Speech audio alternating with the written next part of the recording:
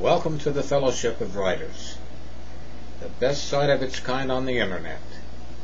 We are a group of writers that have gathered together to proudly present you with our best poems and short stories. Although our styles, thoughts, and imagination may differ, we intend to take you beyond the ordinary into a world filled with bold words and free expression. As extraordinary writers, we open a world of wonders using words that flow with creative expression. Our poems and short stories are undeniably compelling.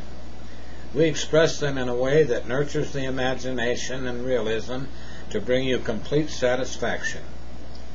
Our best is extraordinaire, words uniquely fashioned especially for our readers. We intend to take you beyond the ordinary into a world of the extraordinary. We write boldly and freely as members of this fellowship and dedicate our creativity to your brief moment of joy. I'd like to take this opportunity to invite you to our unique circle of writers. Writers that take pleasure in all of life's creations and in all of the beauty that life has to offer.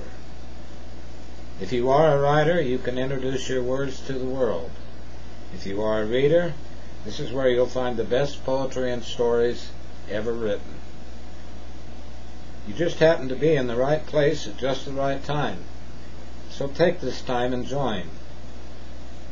This introduction and invitation comes straight from the desk of Big Daddy Cash, the administrator and manager of the Fellowship of Writers. Opportunity is knocking at your door, so don't let it pass you by. It's free, so for heaven's sake, sign up.